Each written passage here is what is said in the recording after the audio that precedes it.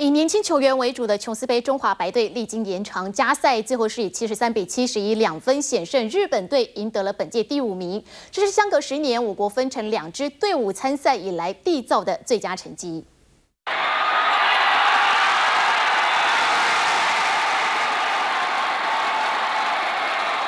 关键防守让日本球员无法出手，中华白经过了延长赛，终于以七十三比七十一获胜，赢得了第五名，写下琼斯杯最近十年分成两支队伍以来成绩最好的中华小将。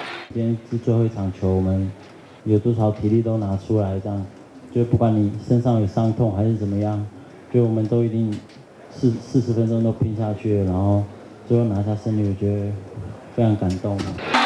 进入延长赛时，陈云俊的两记三分球帮助球队突破僵局，也稳住士气。白队再接再厉，打出漂亮的一役。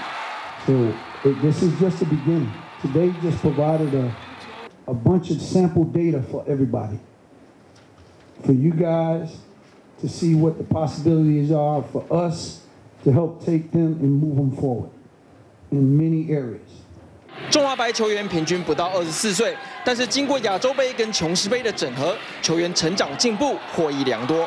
就是就会比较有信心点吧，因为以前在上场的时候，因为很少打比赛，那上场的时候多少会紧张。那现在比赛越打越多，就已经消除那个比赛紧张的感觉，然后不会憋手憋脚的，然后比较敢做一些平常不会做，就是。以前不不敢做的事情，这样热情让这群孩子往前冲。中华小将不止闯出自己的未来，也拼出国内篮坛的新生代。UTN TV 许家龙、杨玉兴台北报道。